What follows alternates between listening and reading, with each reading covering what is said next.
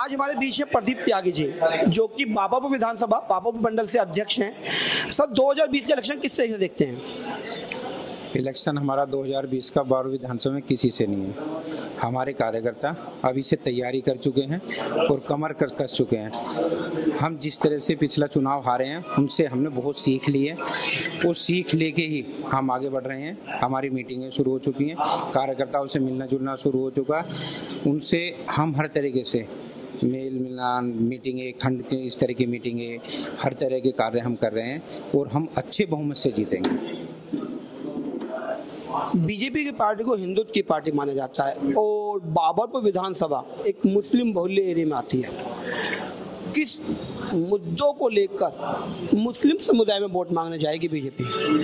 हमारे पास बहुत सारे मुद्दे हैं। सबसे बड़ा हमारे पास जो चेहरा मोदी जी का चेहरा वो कहते हैं सबका साथ, सबका विकास। उन्होंने प्रधानमंत्री 2019 में जब शपथ ली, उसी समय कहा, केंद्रीय मंत्रिमंडल में विकास, संसद में भी बोला कि सबका साथ, सबका विकास। हमें हर समाज को अपने साथ लेके चलना है और उसी की नीति पे वो चल रहे हैं। तीन तलाक का मुद्दा, मुस्लिम महिलाओं में बहुत बड़ा मुद्दा है और उसी लड़ाई को हम आगे लेकर जाएँगे। और इस जो है महिला जो मुस्लिम महिलाएँ हैं बहुत परेशान रही हैं दुखी रही हैं। उनके साथ मोदी जी पूरी भाजपा उनके साथ खड़े हैं हर तरीके से। उनकी जो भी समस्याएँ हैं हम उनको हल करने के लिए हर तरह से तैयार हैं। किस कैंडिडेट को बाबापुर विधानसभा से भावी प्रत्याशी मानते हैं। हमारे पास बहुत प्रत्याशी हैं। हमारे पास प्रत्याशियों की कमी नहीं है। भाजपा का संगठन एक ऐसा संगठन है, जिसको भी पार्टी टिकट दे देगी।